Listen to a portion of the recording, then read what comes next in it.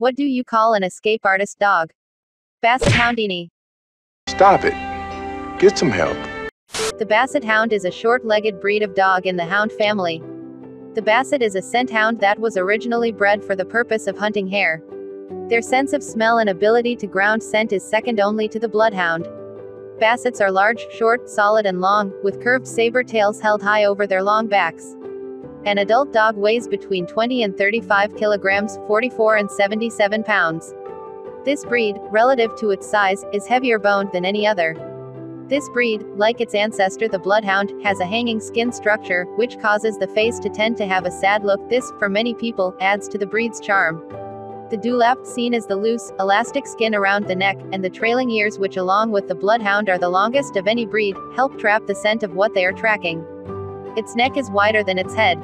This, combined with the loose skin around its face and neck means that flat collars can easily be pulled off. The previous FCI standard described the characteristic skin of the Basset, which resembles its ancestor the Bloodhound is loose.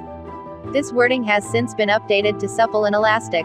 The looseness of the skin results in the Basset's characteristic facial wrinkles. They drool a lot due to their loose flews. The short-haired coat of a Basset is smooth and soft, and sheds constantly. Any hound coloration is acceptable, but this varies from country to country. They are usually black, tan and white tricolors or tan and white bicolors. Tan can vary from reddish brown and red to lemon. Lemon and white is a less common color. Some bassets are also classified as gray or blue. This color is considered rare and undesirable in the show ring. The Basset Hound is a friendly, outgoing, and playful dog, tolerant of children and other pets. They are extremely vocal and famously devoted to tracking. They are also widely known for being stubborn. Prospective owners must be prepared to handle Bassets firmly and patiently. Median longevity of Basset hounds is about 10.3 years in France and 11.3 years in the UK, which is a typical median longevity for purebred dogs and for breeds similar in size to Basset hounds. Basset hounds are a popular breed, but they aren't overly expensive. Good breeders list their Basset hounds anywhere from $450 to $1,500. This price changes depending on the breeder, the bloodline, and where you live.